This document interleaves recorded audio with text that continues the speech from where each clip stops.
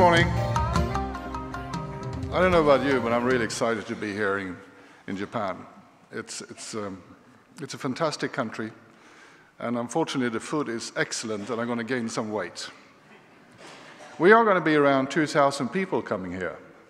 Um, and from Japan, it's about 200. And I understand from Asia, thank you, Jerome, it's going to be in the range of three to 400 people. That's the reason why we travel the world. We want to have local people coming to ICANN meetings. And here we are again in the morning.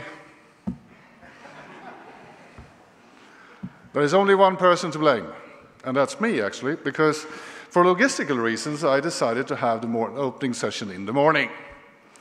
Yeah. Sometimes my ideas doesn't work out, as my team knows. Um, but next time we have an opening ceremony, it's going to be in the afternoon. Because I'm not allowed to make any more decisions about that going forward. I hope you're going to join me in that. Another more personal thing is that this is my 10th ICANN meeting.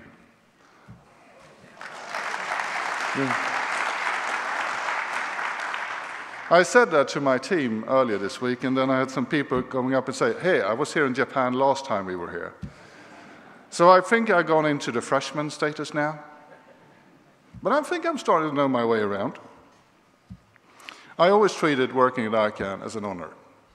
Um, I actually have never had a better job in my life. This is one of the most fun things I ever done, with some exceptions going up in the morning, but apart from that, it is a real honor. And I know that my, the team I'm working with at ICANN.org also feel it's an honor. It's not always easy, but, and we're always trying to do our best. But it's been fun so far. Take a step back, as I usually say.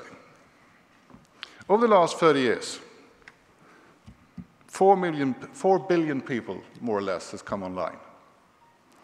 I mean, the internet, we always talk about this, that the internet has changed the way we do things, everything from our banking to our love life. It has a real profound effect on the way we live. And one of the amazing things with this technology, it wasn't really done a, from a telco or a product company or anything else. That people got connected to the internet was something that people decided to do. That makes this technology very, very unique because it wasn't packaged the way that other products is done. And the other thing that is very, very rare with this is the fact that the way the internet governance or the governance of what we're doing is a pure multi-stakeholder model. And I think that's a part of its success. From the people to the people. But we also reached a point where, because of the impact of society, not everybody is happy with it. We see many legislative proposals around the world, and ICANN is a technical organization. We don't go into politics, but we see technical, we see sometimes that can have an impact on your ability to make policies or to have people disconnecting from the internet. And one of the things we see, there seems to be misunderstanding what the internet actually is and platforms on top of the internet. Many of the discussions about hate speech and other things is actually on platforms on the internet. You use the internet to reach that platform. That's not the internet.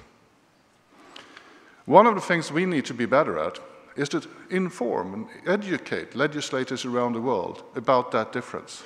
So, with good intent, they don't block people coming on to the internet. That is one of the reasons why you saw that we a couple of weeks ago came out with a new charter, a proposal for a charter, how to engage with governments around the world to educate and tell where actually the internet itself could be at risk. It's also on that note that you have seen that we applied for membership of ITU-D because we want to be in the room with our own flag when things like this are discussed, joining our friends in ISOC and the RIRs in that arena. But it's not only legislative things that are happening. We also have technical. I was had the pleasure of being in uh, Barcelona uh, a couple of weeks ago uh, for the GSMA World Mobile Congress, where there are many discussions about how 5G is going to save the world. I'm a little bit cynical because I've, i was there when 2G is going to save the world, and 3G, and 4G, and now 5G, and apparently also 6G. It says here, don't make any jokes about 6G. In that, the presentation was given said, there is a best effort internet, implying there's another internet. Another internet not using the identifiers we talk about that makes it possible for people all around the world to connect to one single network. And we have to watch out not only for the legislative proposals, which often are for good intent, but also for technology, technology solutions that actually can harm people's ability to join the internet. Because here's the thing for me. This community, you, more than me, has been able to do very good solutions on some of the really hard pressing problems that has existed to create this ability. And I happen to believe, and I'm stubborn in that, that this multi-stakeholder model is much better of taking on some of those pressures than local governments around the world. And I believe that because we have proven internet works. And internet is boundaryless. And there is a risk if we see too many local legislations or technical development, we can actually fragmentize what I believe in, which is the internet.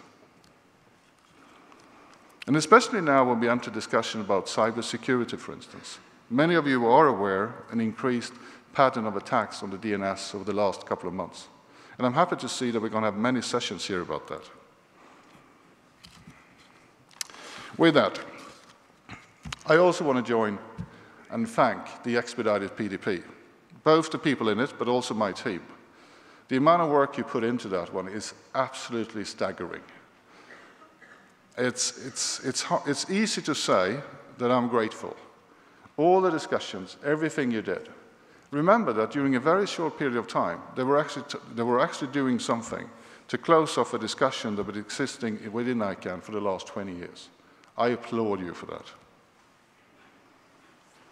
I also want to thank my own study group, the technical study group under the leadership of Ram, who during this meeting is going to present a potential a technical solution that potentially can diminish the contracted parties' legal responsibilities, which will give the opportunity for the ICANN community to potentially create a unified access model for WHOIS data.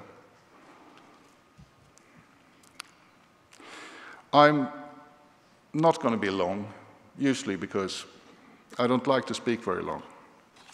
So my final job is to do this, is to announce formally that this is going to be the best ICANN meeting ever.